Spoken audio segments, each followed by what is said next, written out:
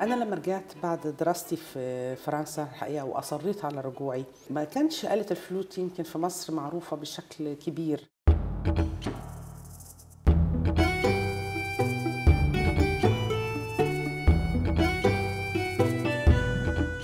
الهدف النهارده الوصول للقاعدة الكبيرة العريضة اللي في مصر.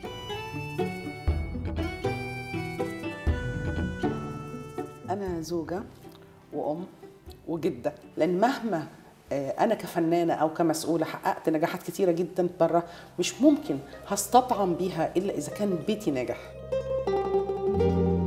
ما أعتقدش إن ممكن آه، أبطل عزف أبدا.